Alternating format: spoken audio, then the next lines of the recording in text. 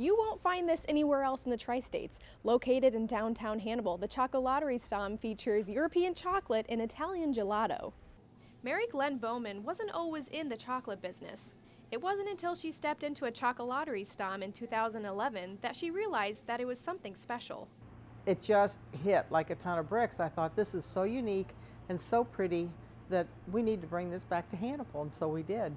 A family business that was started in Holland in 1913, all of the chocolates are made by the great grandson of the original founder. And he lives in Des Moines, Iowa.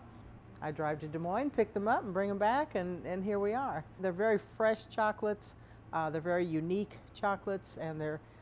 Some people say they're too pretty to eat, but that's not true. they're beautiful, but they're certainly good to eat. Bowman says that once you step into the store, you're sure to find something you like. Chocolate's just one of those things. All women love chocolate. You know, it's, it's just one of those things, and men are certainly finding their way around the chocolate store now, too. So it doesn't have to be chocolate. More than likely, it will be chocolate, but you know, there's something here for everybody. Megan Townley, KHQA News, Hannibal, Missouri.